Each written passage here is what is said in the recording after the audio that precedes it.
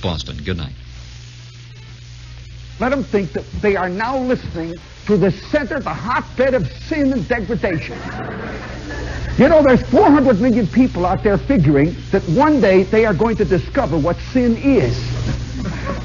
You know, how many times have you felt that cheated feeling? I mean, you pick up the paper and it's on page three and it says 47 nabbed in fantastic vice rate.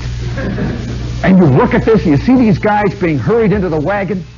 They got their black glasses on and they're holding up copies of the Paris Quarterly, you know. And you feel cheated. I missed another one.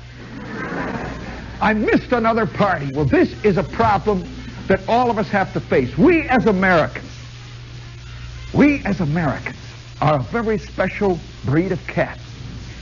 Oh, yeah, we really are. And, and on a Saturday night, as we sit here quietly eating our cheeseburgers, and you can hear, if you listen carefully, listener out there, you'll hear the sound of girdles creaking. It's all part of life in America. Out there right now at this minute. Let's let's let's pause before we get started. Let's give them a moment of simple commiseration. Out there in the darkness right now, there are 400 million Americans heading along the turnpikes on a Saturday night, aiming at debauchery. They're heading for the Howard Johnson. This is an American's idea of really going all the way. As a matter of fact, out in Indiana, I can tell you on a Saturday night, they can measure what kind of a Saturday night it is by how many interchanges you ride over on the on the turnpike. If you're really going out, it's a three interchange night. You just drive on the turnpike. You know, turnpike driving has become an end in itself. It's not where you go that matters. In fact, right now on the New Jersey Turnpike, you can buy little beanies that say souvenir of interchange 12 with a propeller, you know. Or you can get a little hat that says souvenir of Route 9. I've been there. And so now, at this moment, let us pay simple homage to those pilgrims in search of passion who right now are heading for the drive-ins of the world, who are heading for real life as seen on a wide screen with their little rusty horses on the side of their on the side of their Mustangs? How about that little rusty horse? I kind of like him. Have you ever, you know, one time I got an MGC, a real little low car. And if you ever look at the bottom of cars as you're whistling along the turnpike, you can see dreams personified. I remember one time I'm driving along the turnpike, see this little low car, and all of a sudden this monster pulls up next to me. And we're both going neck and neck. It's on the Pennsylvania Turnpike. And on the side it says Oldsmobile Jet Star Stream Super 88. And it's rusty. And I could see it sort of half hanging off. And I'm riding along there and I'm saying to myself, is this the dream? Is this as far as it goes? Well, maybe it's because in America we live a special life. And I just got back from the Negev Desert. Are you interested? All right. You are now going to see the other shepherd. Are you prepared? Now, wait a minute, honey. You just sit there and be quiet and object when I give you the cue. This, shut up, will you, or leave. Look at this. Now, wait a minute. Look at that. Look at that. All right. Can you imagine walking into your boss's office Monday morning like this? You arrive, you can see it gives you a very different aspect.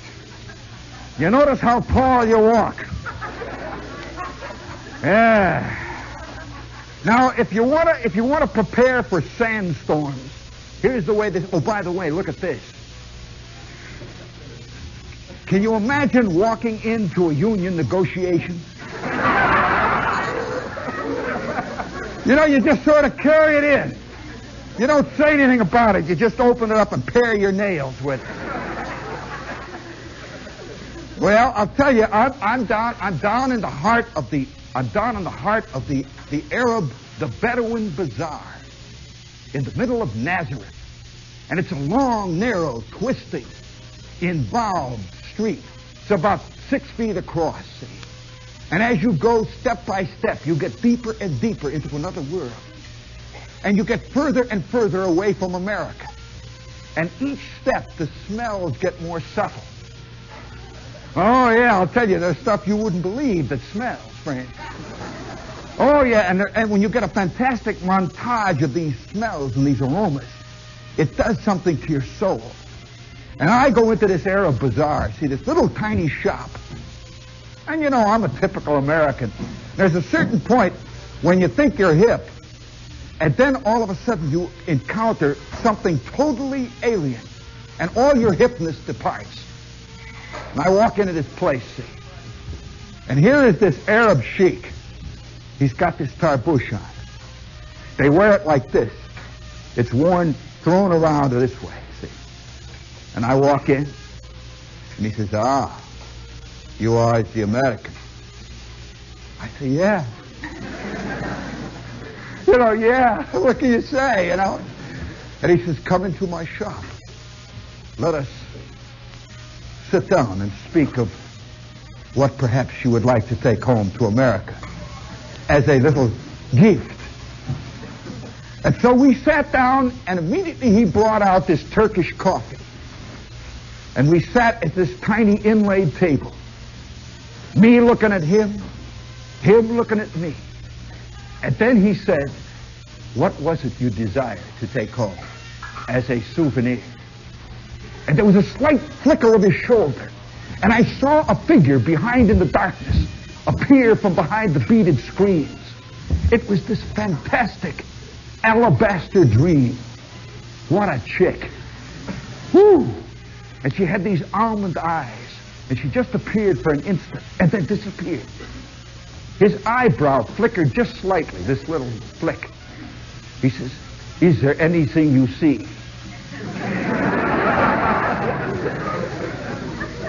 I says, Well, uh, he says, That is exactly what I thought. Now let us speak. What was it you want? And I could see by a flick of his left hand that it was expected of me to discuss water pipes, which were over here all piled up marked for tourists only. And I said, uh, how about a water pipe? He says, ah, I see you are a man of taste and discretion. And behind us, I could hear this oriental, this Arabic music begin to play. Boom, da, da, boom, da, da, boom, da, da, boom. I could hear the sound of those pipes. Boom, da, da, boom, da, da, boom. And boy, I could feel my blood boiling. And he says, I can arrange to have whatever you wish sent to you duty free. I says, duty free? Duty free. I says, well. and we settled back for a long moment like that. And then there was a sudden moment, a sudden instant. And once again, I see this alabaster form. This time, it's another alabaster form. He says, I have much in stock. Little did I realize at that moment that I had engaged myself in a subtle bargaining, a subtle but very, very well established pattern. I was about to buy, gentlemen, the ultimate souvenir. Haven't you, as an American, uh, as a traveler, haven't you wanted someday to bring back the one thing that said it? Yes. yes. yeah. I mean, and you get it back home and it just turns out to be a rotten little vase. You know, just a crummy vase and you see them up and down 42nd Street. And you've lugged it back in your bag 6,000 miles and that turns out to be a rotten little vase. And you take pictures. We all have the desire to bring back the ultimate. Well, I am sitting with this Arab sheikh, and he says to me, he says, of course you realize that these things take time. I said, how much? He says, it depends, it depends on the sort of negotiation that you wish to enter into. Do you wish to pay cash or do you wish to charge? Little did I realize how spectacularly successful my Diners Club card could be. You'd be surprised at the things that you can charge on your Diners Club card, friends. You'd be surprised. I've been in places that I expected any minute now to hear the heavy tread of the law, and above it it says carte blanche cards honored. Well, I am sitting with this guy for 15 minutes and we are talking back and forth with this subtle innuendo of two old, experienced men of the world. Until finally he says, the deal is complete. It was a pleasure to do business with you. Her name is Fatima. Of course, you can call her anything you care. She prefers Fatima. And I said, Fatima. Fatima. Oh, boy, wouldn't they love to see Fatima in Hammond, Indiana? Yes, Fatima.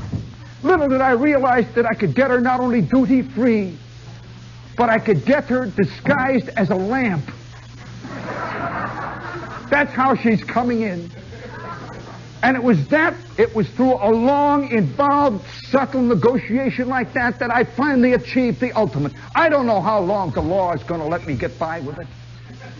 I don't know, but I've had that moment of fantastic success. I'm waiting now for the call from the American Express Company. I wonder how she'll be wrapped. I wonder what you say, you know, that first moment. Come, Fatima. Come and a, a true slave. It was that way, and it was, uh, it was the most fun I've ever had. I don't think anybody has ever bought a Doberman Pinscher and had as much fun as I had. You didn't know they sold dogs in the Arab Bazaar, did you? Well, I've made my peace, and I'm going to continue to live with it. You know, it's a funny thing about, about people about when you travel out and you learn about your land, you know. I am in the middle of this, this fantastic scene in a, in a town north of Tel Aviv. This is another time when you discover yourself. And it's a low mud hut. And I've been taken in by this guy who says, You really want to see how the native world lives? And I says, Yeah. And so we go into this place. It's all lit with purple lights and I could see people lounging on the floor. And there's guys wearing tarbooshes. You ought to see an Arab when he's in his full regalia. They wear shades. You ought to see a, an Arab in his shades.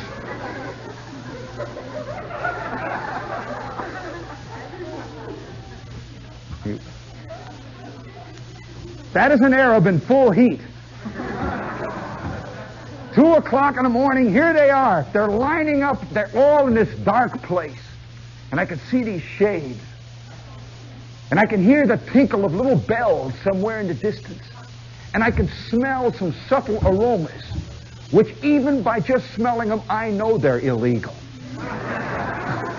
you know, I know that's a bad scene, see? And I step over these bodies. I'm in this dark den of iniquity in the Middle East.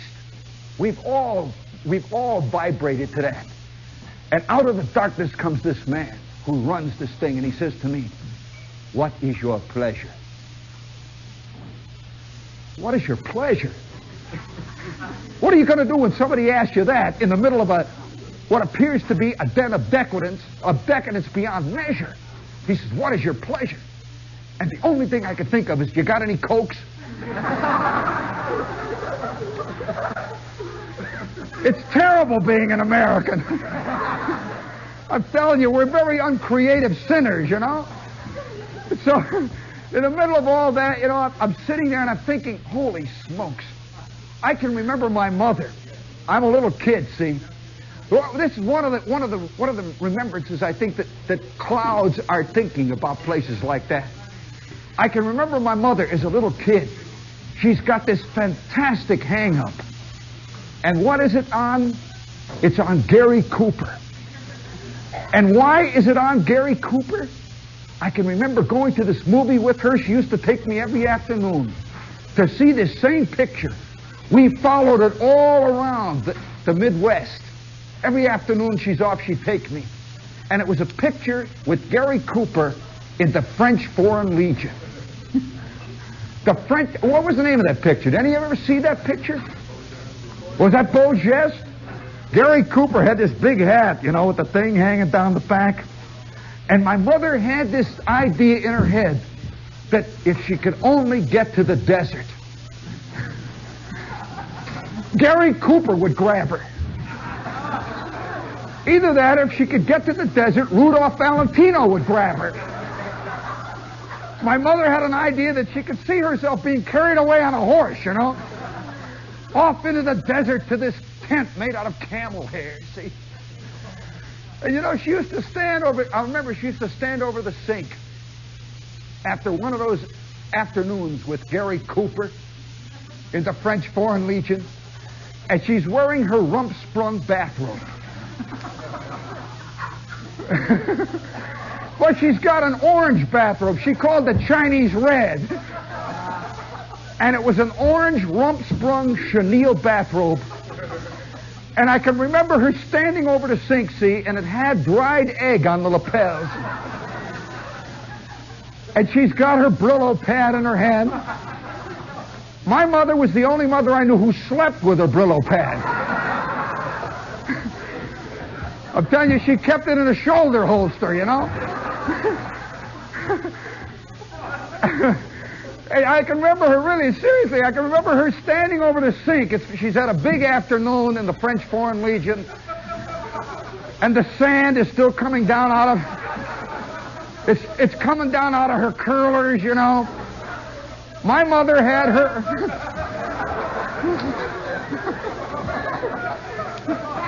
I don't know what he's been up to, but. I'll tell you, my mother had her hair up in curlers for 26 years. You see, she figured that when something really big came along, she'd take it down. and right now, tonight, my mother is sitting up in curlers. It has not happened. And so I can remember her, seriously, I can remember her standing over the sink, you know, her rump sprung bathrobe on and she's got the Brillo pad. And we had one of these sinks, you know. We had a sink that ad libbed. Oh yeah, yeah. We had we had a sink, you know. The sink at at crucial moments in family arguments, which were always held in the kitchen. You know these long, pregnant silences. Yeah, my old man is sitting there in his underwear. My mother is opposite him. My kid brother is under the table whimpering. And I'm sitting there eating a red cabbage, see? And the old man is bugged about something. His underwear's open. There was these pause. There'd be a long pregnant pause, and all of a sudden the sink would go.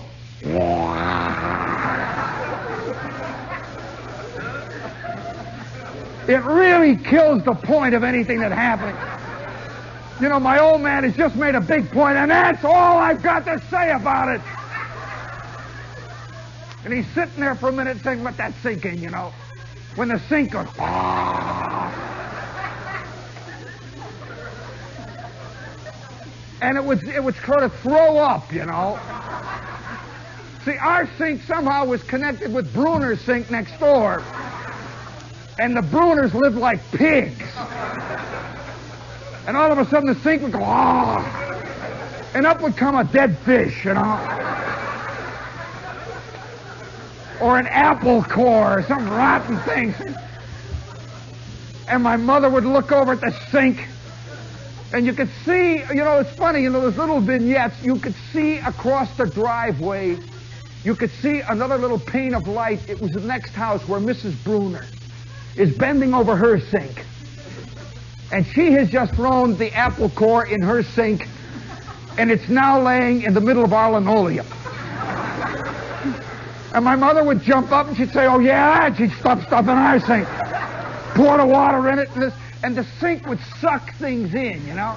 It'd go, ah, ah, and it would all disappear. And then you'd see Mrs. Bruner.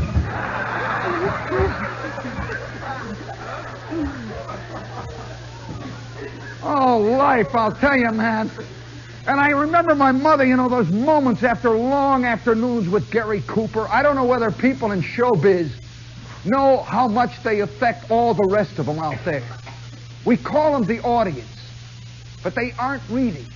They're just individual little jocks, little tiny kind of bundles of desire and dreams, disappointment, buggedness, passions.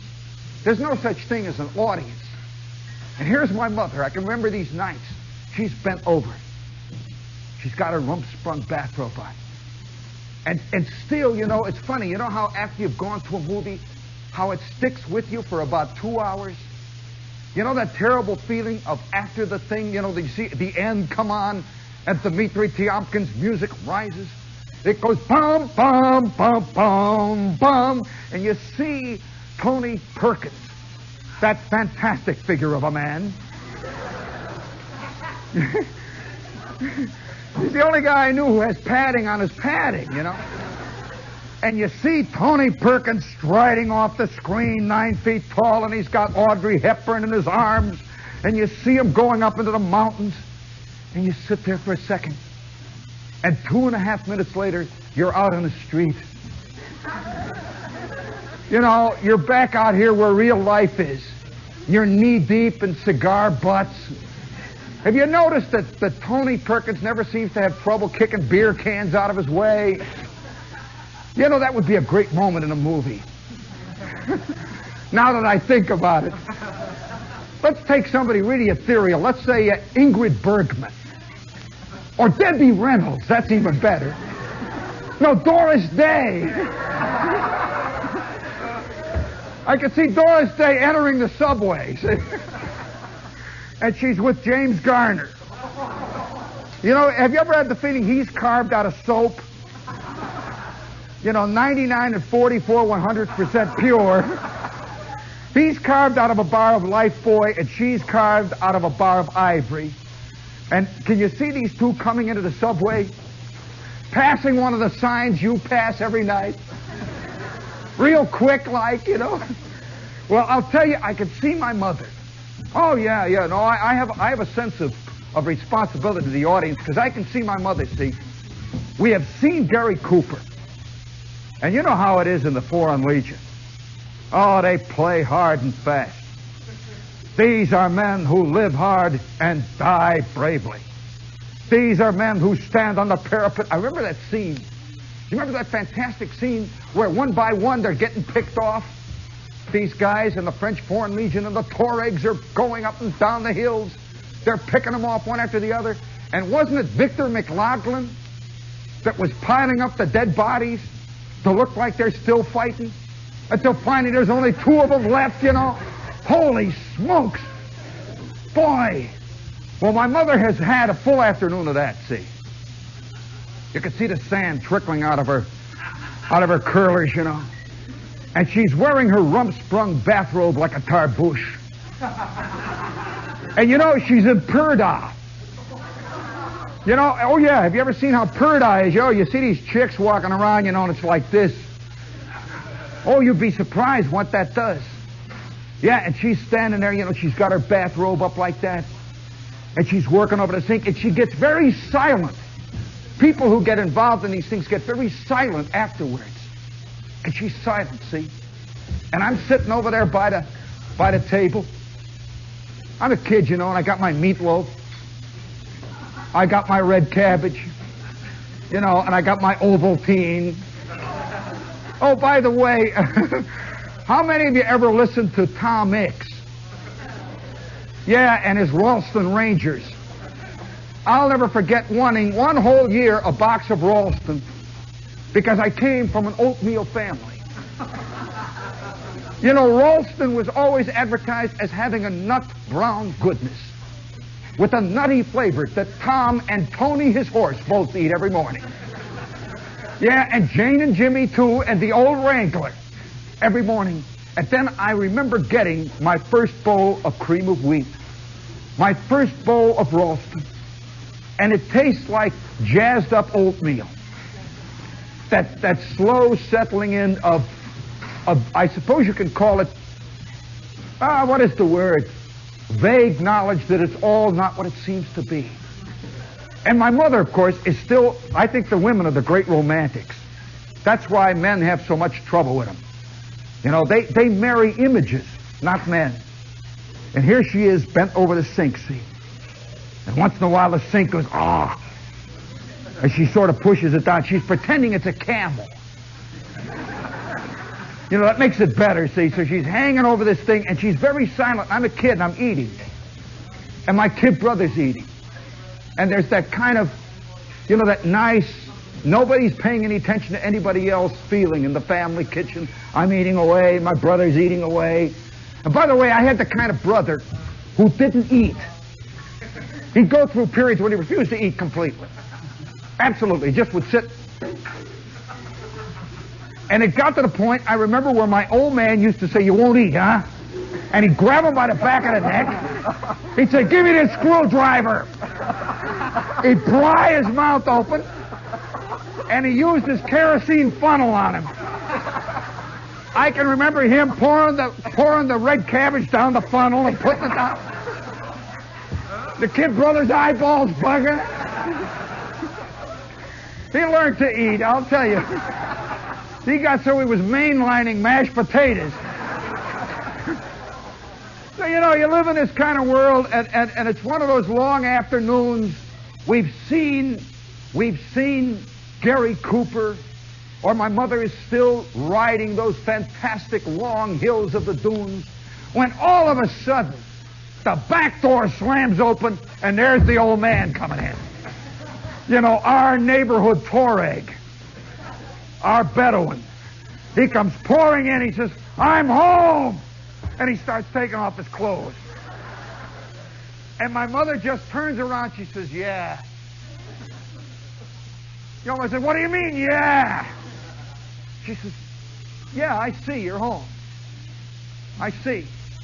And then he turns around. He says, What have you been doing? Have you been at them damn movies again? And she says, None of your business. And then I hear him stamping off into the living room. And he says, if I ever catch that Gary Cooper, I'll hit him in the mouth. He don't even know how to ride a horse. And my mother says, that's what you think. He says, well, I bet he can't play pool. My mother says, that's all you can do. And then there's silence. And then I hear the sink go, ah. And there is the vignette of what showbiz does to the living, breathing protoplasm of the audience. It splits them. We'll be back in five minutes. Let's hear it. Come on.